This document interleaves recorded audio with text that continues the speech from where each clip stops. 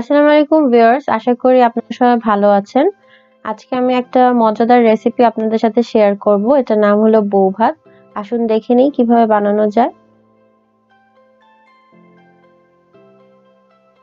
আমি এখানে তিন কাপ চাল পানিতে ভিজিয়ে রেখেছিলাম আর হাত দিয়ে চটকে আমি এরকম চালগুলো ভেঙে দিয়েছি। আসলে বিদেশে যারা থাকে সব জায়গায় এই চালটা রেডিমেড পাওয়া যায় না বাজারে। তাহলে আপনার বাসায় এভাবে বানিয়ে নিতে পারেন।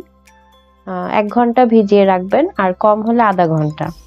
এরকম হাত দিয়ে চটকে নিলেই চালগুলো ভেঙে যাবে।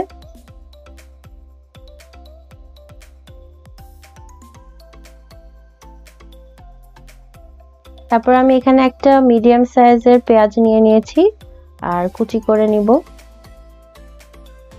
আর একটা ফ্রাই প্যানে আমি ওয়ান হাফ কাপের মতো তেল দিয়েছি। আর এখানে একটা তেজপাতা এরকম ভাগ করে হাফ করে দিয়ে দিয়েছি। আর অনিয়নটাও অ্যাড করে দিব।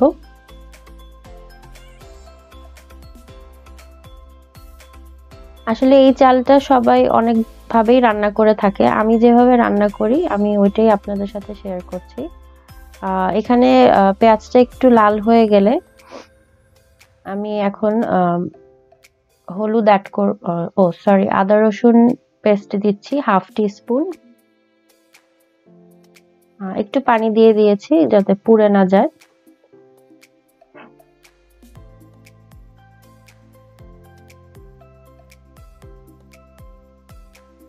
তারপর আমি এখানে অ্যাড করছি হলুদ ওয়ান টি স্পুন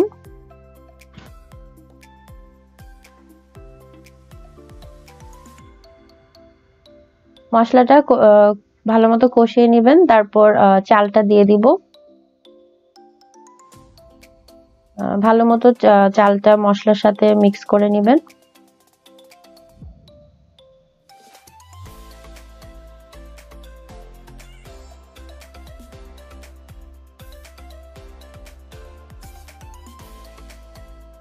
আমি এখন পানি অ্যাড করছি। আমি পাঁচ কাপের মতো পানি এখানে দিয়েছি।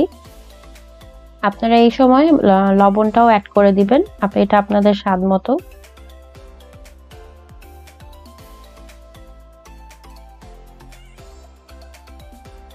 আমি এখানে তিনটা কাঁচামরিচ দিয়ে দিয়েছি। এটাও আপনাদের স্বাদ মতো যে যত ঝাল খায়।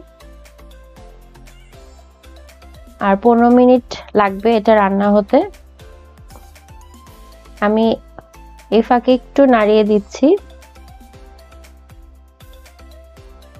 পানিটা শুকিয়ে আসছে প্রায়।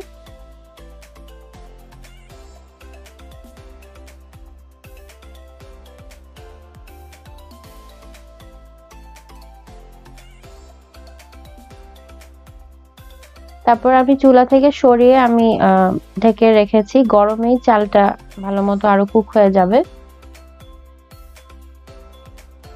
চালটা গলে গিয়েছে, এটা রেডি হয়ে গিয়েছে।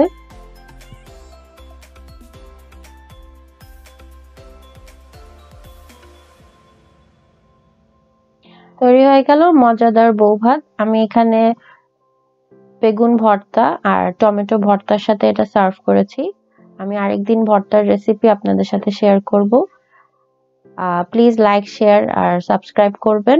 আজ এতটুকুই, আল্লাহ হাফেজ।